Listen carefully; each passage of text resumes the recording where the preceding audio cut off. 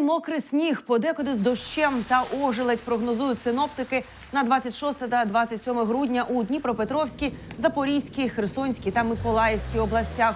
У Одеському регіоні очікується переважно слабкий сніг. Втім, рятувальники застерігають, такі погодні умови можуть ускладнити рух транспорту на автодорогах та вулицях внаслідок снігових заторів та ожеледиці. Громадянам радять наступне. Бути уважними під час користування транспортними засобами. Водіям суворо дотримуватися правил дорожнього руху. Закликаємо громадян не вирушати у далеку подорож. А якщо така потреба виникла, то ретельно перевіряйте справність автомобіля та його готовність до експлуатації в зимових умовах.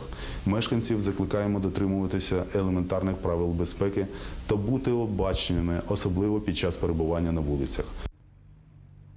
В разі ж виникнення надзвичайних ситуацій громадянам радять негайно телефонувати до служби порятунку 101.